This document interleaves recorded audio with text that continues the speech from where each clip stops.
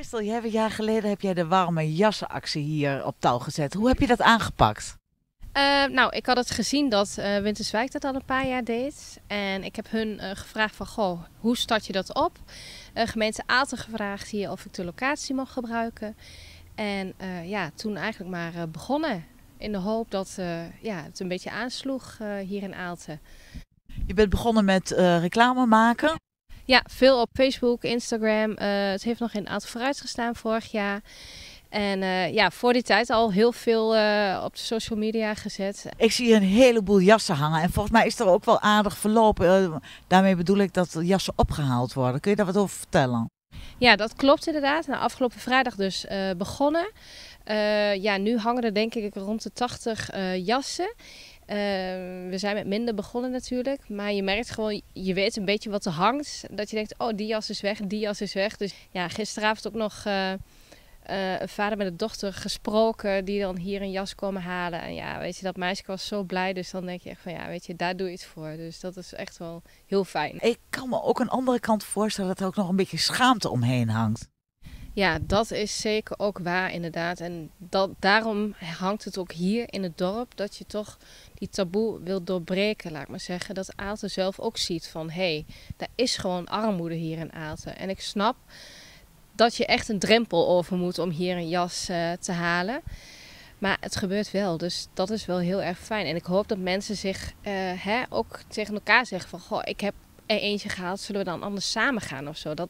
Christel, stel dat onze kijkers in Aalten denken van... nou, ik heb ook een jas, uh, die wil ik daar naartoe brengen. Moet een jas nog aan eisen voldoen om hier te hangen? Ja, hij moet wel schoon en heel zijn in ieder geval. Dat zou wel heel prettig zijn. Ik check ook altijd eventjes de jassen na. Als ze hier komen te hangen, dan kijk ik altijd of de hè, rits het nog doet. Of uh, dat er geen gaten in zitten of zo. Dus, en als dat wel zo is, ja, dan doe ik ze weg. Uh, gaan ze naar de kledingcontainer of dat. Maar ja, schoon en heel dus. Mutsen, sjaals, handschoenen gebracht worden. Uh, van die oren, kleppen, hoe noem je dat ook alweer voor de kinderen, dat uh, is ook heel fijn. Zie je ook nog een extra behoefte in kinderjassen of volwassen jassen? Ja, zoals u kunt zien hangen er best wel veel volwassen jassen. Kinderjassen zijn nog wat in de minderheid, dus ja, daar is ook uh, flink behoefte aan. Van wanneer tot wanneer uh, is deze actie? Ja, afgelopen vrijdag dus begonnen en hij loopt tot en met 8 december. Dan hoop ik dat iedereen inderdaad voorzien is van een lekkere warme winterjas. En die jassen die blijven hangen, wat gebeurt daarmee? Ja, vorig jaar heb ik ze naar Winterswijk gebracht, naar de kledingbank. Benaderen mij inderdaad ook al mensen van, goh, hè, wat doe je met de jassen? Want uh, ik weet ook nog wel een goed doel.